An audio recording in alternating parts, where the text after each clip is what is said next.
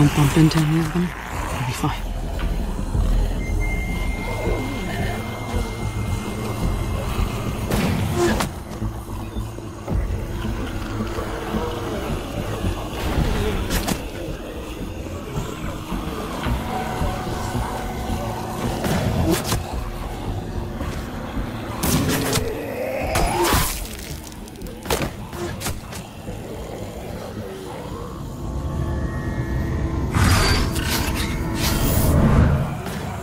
Michonne, what is it?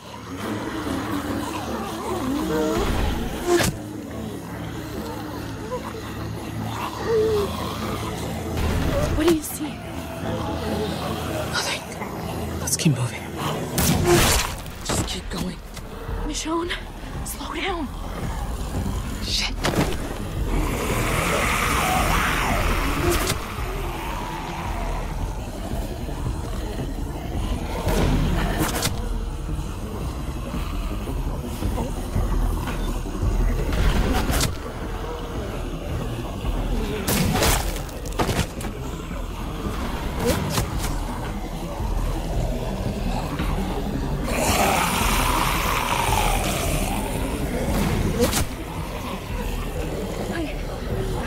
Believe that worked. Just be glad it did.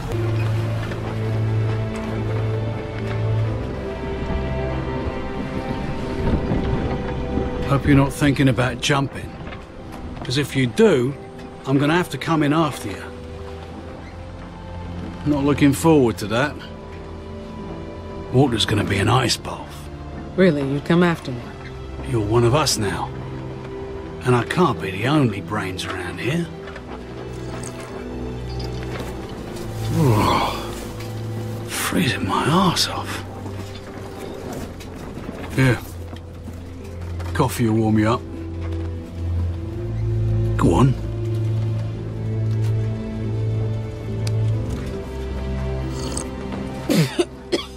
God damn, Oak. You can't call it coffee when more than half's whiskey. Uh, you sound like my ex-wife. She was more of a rum girl. One about the kittens who took over the boat? What?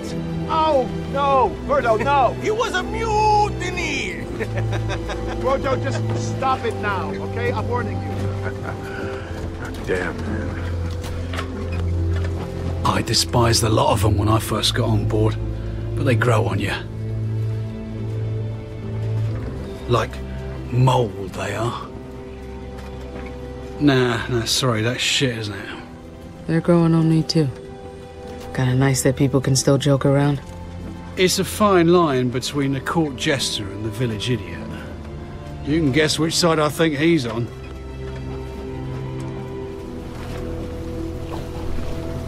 Before I joined up with Pete, my brother and I were cooped up in an old canning factory. Food for ages. Lot of fat and happy people. But then, a young girl got taken. We followed a trail. It wasn't hard with all the blood.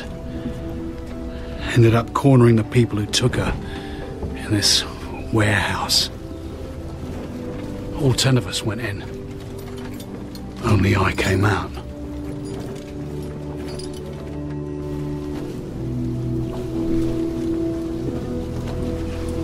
I would have gone in alone.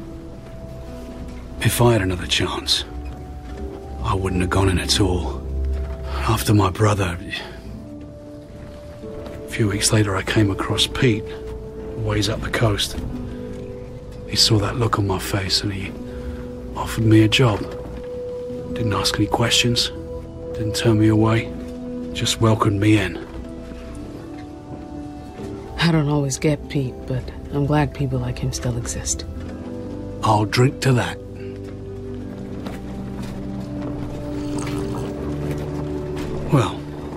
Think Berto's little routine is winding down, so we can finally play cards.